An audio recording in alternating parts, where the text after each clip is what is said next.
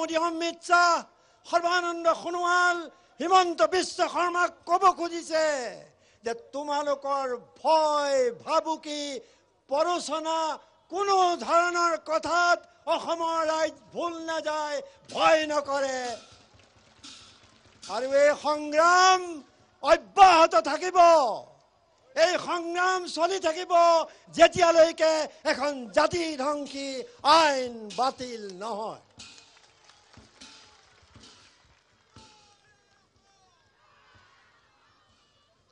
ঊনৈছশ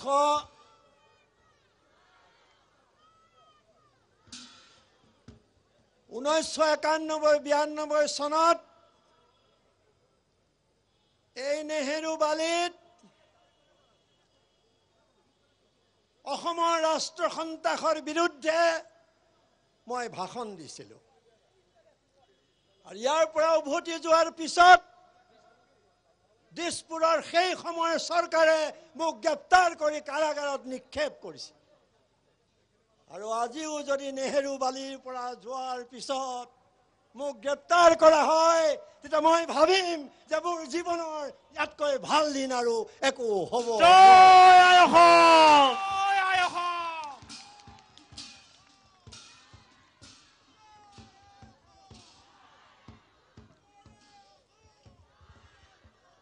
চৰকাৰৰ মন্ত্ৰীসকলে চৰকাৰৰ এজেণ্টসকলে চৰকাৰৰ দালালসকলে নানান প্ৰলোভন দেখুৱাই ৰাইজক শান্তি সমদলত আহিবলৈ বাধ্য কৰিছে। সৌ সিদিনা যি সমাৱেশ হ'ল তেওঁলোকৰ শান্তি সমদল তাত ভাইৰেল ওলাইছে ভিডিঅ' যে প্ৰতিজন মানুহক আঢ়ৈশ টকাকৈ দিয়া হৈছে। প্ৰতিজন বাছত প্ৰতিখন বাছত চাৰি হাজাৰকৈ টকা দিয়া হৈছে। মই প্ৰশ্ন কৰিছোঁ যে ক'ত পালা তোমালোকে ইমান টকা? সেয়া ৰাজকোষৰ ধন নে তোমালোকৰ দুৰ্নীতি ধন তাৰ হিচাপ আমাক লাগিব? আৰু আজি যদি সৰ্বানন্দ সোণোৱাল আৰু হিমন্ত বিশ্ব শৰ্মাৰ হেলিকপ্টাৰ আছে তেতিয়াহ'লে তেওঁলোকে ইয়াত ঘূৰি ঘূৰি এবাৰ চাই লওক নগাঁৱৰ জনতাই কোনো প্ৰলোভনৰ আশাত ইয়াত সমবেত হোৱা নাই। তোমালোকে চাই লোৱা যে ইমান ভয় ভাবুকিৰ পিছত ৰঙা চকুৰ পিছতো নগঞা ৰাইজে এই আইনখনৰ বিৰুদ্ধে যুদ্ধ দিবলৈ সংকল্পবদ্ধ। তোমালোকৰ সাহস নাই। তোমালোকে নানান চালহী কথাৰে ভোট লৈ নিৰ্বাচিত হৈছা। তোমালোকৰ সাহস নাই। আৰু যদি সাহস আছে সোণোৱাল শৰ্মা পাটোৱাৰীহঁত ইয়ালৈ আহক। তেওঁলোকে ছিকিউৰিটি লৈ আহক কাৰণ তেওঁলোকে আকৌ ক'ব নহয় যে আমাৰ মানুহেহে কোনোবাই মাৰিবলৈ খেদি যাব বুলি।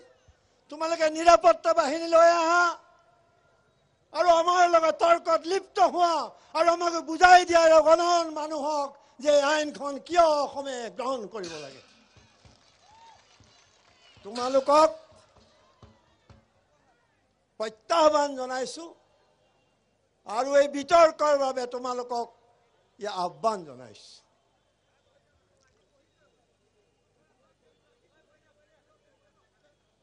জাতিৰ মন মন্দিৰৰ সিংহ দুৱাৰত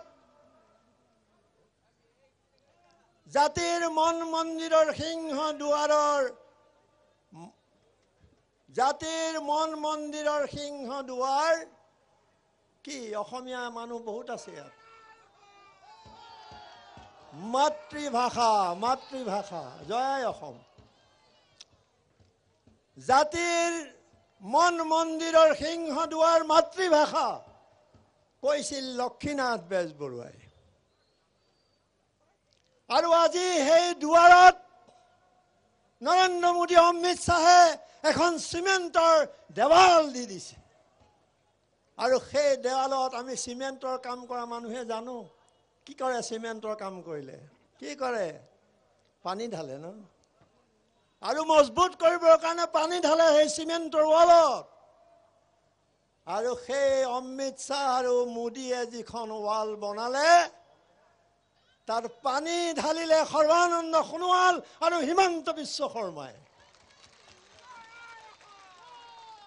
আৰু তাৰ পিছত অলপ দূৰত থিয় হৈ থাকিল বাল্টি লৈ পানীত। কোন? কোন? অতুল বৰা কেশৱ মহন্ত আৰু ফণীভূষণ চৌধুৰী। জয় আই অসম! জয় আই অসম! আজি সেই দেৱাল আমি ভাঙিব লাগিব। অসমৰ ৰাইজে সেই দেৱাল ভাঙি গুৰি কৰি দিব যি পৰ্যন্ত এই আইনখন বাতিল নহয়। গতিকে আজি আমাৰ নামঘৰৰ মণিকূটত শংকৰদেৱৰ অসমত সাম্প্ৰদায়িক ৰাজনীতি প্ৰৱেশ কৰিছে। অসমে কেতিয়াও সাম্প্ৰদায়িক ৰাজনীতিত বিশ্বাস নকৰে কৰা নাই আৰু ভৱিষ্যতলৈও নকৰে। এতিয়া তেওঁলোকৰ জনগণৰ সমস্যা সমাধান কৰিব নোৱাৰা নেতাসকলৰ এতিয়া এটাই কাম যে সমাজত বিভাজন কৰা আন্দোলনক দুৰ্বল কৰা আৰু নানান প্ৰলোভনেৰে সংগ্ৰামখনক বিপথে পৰিচালিত কৰা। আমি ইয়াৰ পৰা অগণন মানুহে সকীয়াই দিব খুজিছো তোমালোকক। কোনো কাৰণতে অসমৰ ৰাইজে সংগ্ৰামী ৰাইজে তোমালোকৰ ষড়যন্ত্ৰত ভৰি নিদিয়ে নিদিয়ে আৰু নিদিয়ে।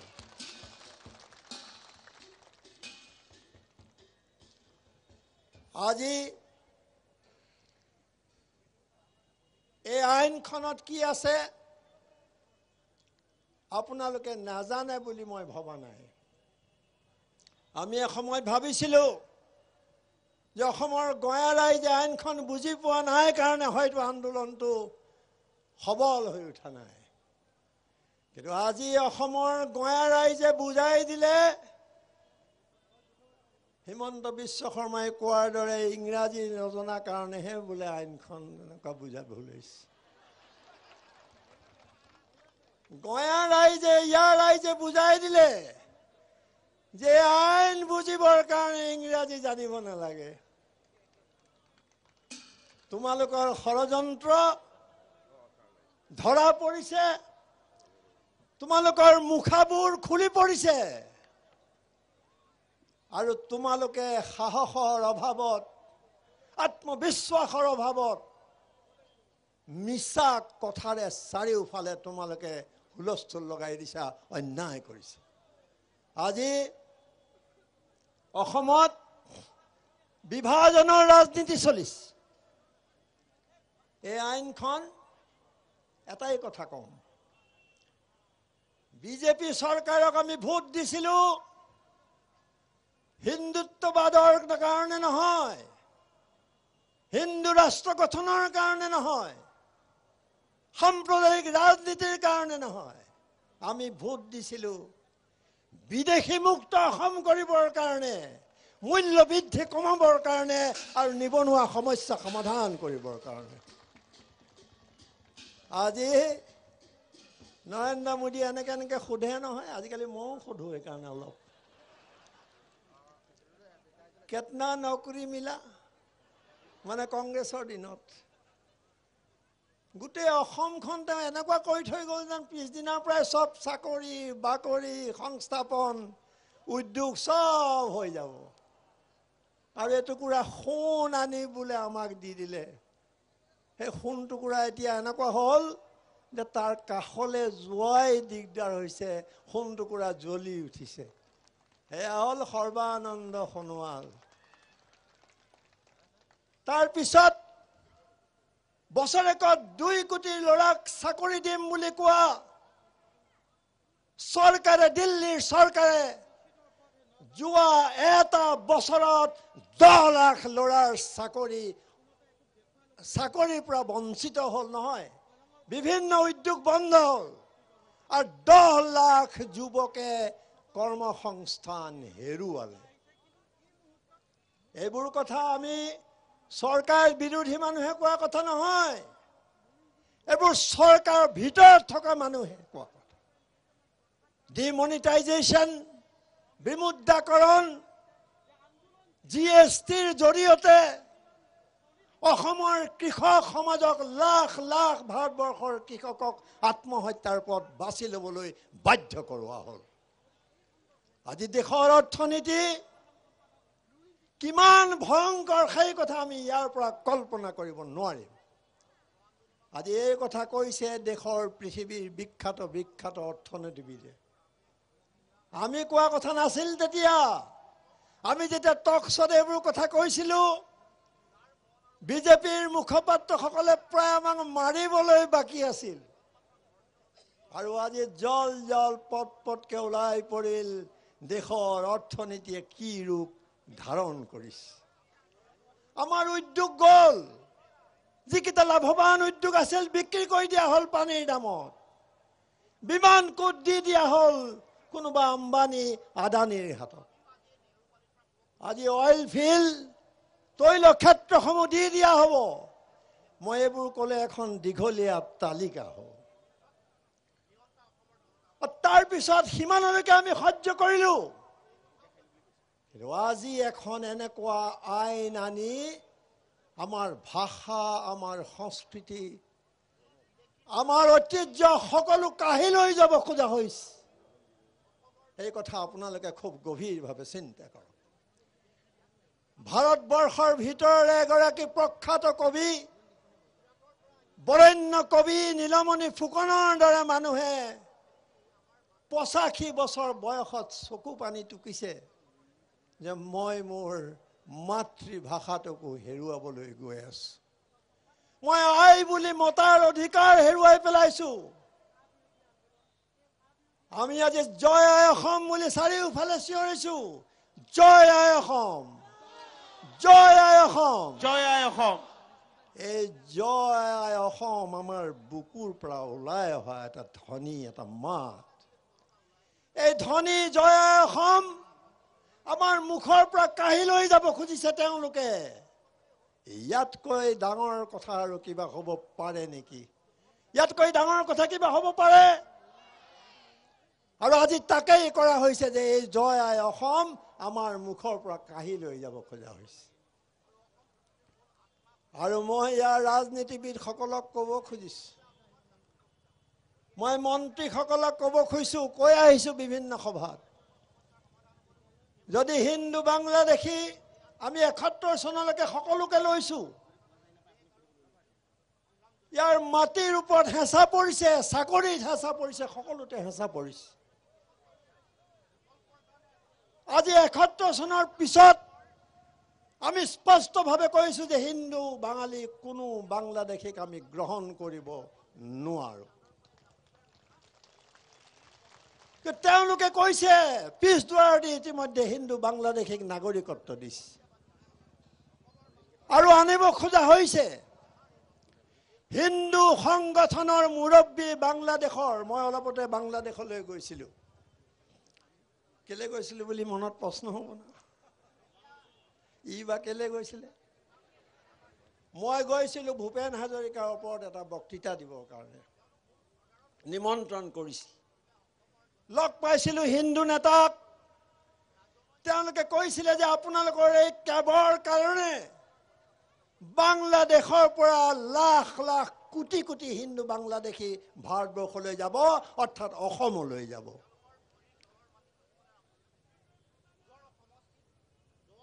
অলপমান ডিষ্টাৰ্ব হৈছে মোৰ অলপমান ডিষ্টাৰ্ব হৈছে অলপ ডিষ্টাৰ্ব হৈছে মোৰ লুৰিনেতো দিবই ন ভাষণ?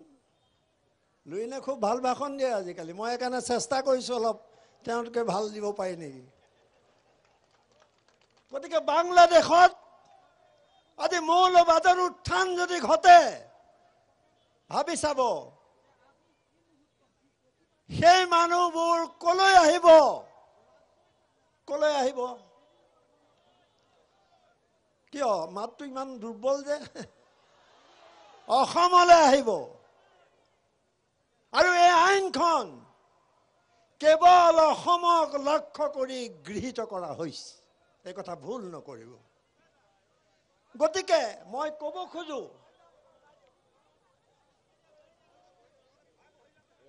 গতিকে মই ক'ব খোজো যে হিন্দু বাংলাদেশীসকলক যি ধৰণে সংস্থাপন দিব খোজা হৈছে যি ধৰণে তাৰ পৰা আহিব কোটিৰ হিচাপত তেওঁলোকে কৈছে ডেৰ কোটি। আমাৰ কথা বিশ্বাস কৰিব নালাগে। তেওঁলোক অহাৰ পিছত বৰ্তমান অসমৰ মন্ত্ৰী আৰু বিধায়কসকল যিসকলে কা সমৰ্থন কৰিছে তেওঁলোকে নিৰ্বাচন খেলিবৰ কাৰণে সমষ্টি বিচাৰি নাপাব। মই সৰ্বানন্দ সোণোৱাল আৰু হিমন্ত বিশ্ব শৰ্মাক কৈছো।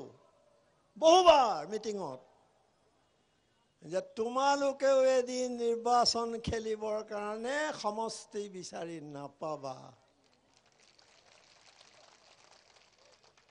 এনেইতো অহাবাৰ তেওঁলোকে বিভাজন কৰিছে ইমান টুকুৰা টুকুৰ কৰিছে অসমক উত্তৰ পূৰ্বাঞ্চলক। কিন্তু তোমালোকে যদি অসমৰ খিলঞ্জীয়া অসমীয়াৰ সন্মুখীন হ'ব পাৰা অহা নিৰ্বাচনত তোমালোকে মাটিত ভৰি দিবলৈ সাহস গোটাব নোৱাৰিবা। একত্ৰিছ ডিচেম্বৰলৈকে অহা হিন্দু বাংলাদেশীয়ে কোনো তথ্য প্ৰমাণ দিব নালাগে। মাত্ৰ এখন কাগজত মই হিন্দু বুলি লিখি দিলেই তেওঁ নাগৰিকত্ব লাভ কৰিব। পৃথিৱীৰ কোনোবা দেশত কোনোবা ৰাজ্যত এনেকুৱা নিয়ম আছে? গতিকে তোমালোকক সুধিছো যে আমি কিয় মানি ল'ব লাগে? আমি যে নেমানো সেই কথা ইতিমধ্যে আমি প্ৰমাণ কৰি দিছোঁ। এজন মন্ত্ৰীয়ে কৈছিল আশা কৰাৰ দৰে বোলে প্ৰতিবাদ হোৱা নাই।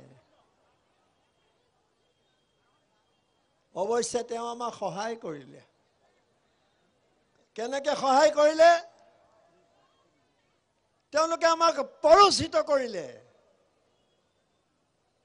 আৰু সেইকাৰণে আমি আত্ম সন্মান থকা জাতি হিচাপে সংগ্ৰাম কৰি দেখুৱাই দিলো যে পৃথিৱীত এনেকুৱা শান্তিপূৰ্ণ আৰু গণতান্ত্ৰিক আন্দোলন ক'ৰবাত যে অনুষ্ঠিত হৈছে সেই সম্পৰ্কে মোৰ সন্দেহ আছে।